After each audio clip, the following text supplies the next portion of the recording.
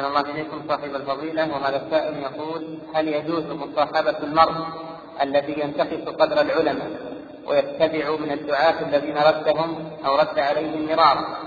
أو يجالس من يكفر الحكام بدعوى أن هذا الشخص هو أخي في الإسلام؟ وما توجيهكم لهؤلاء؟ هذه فتنة هذا مثل جواب السؤال الأول.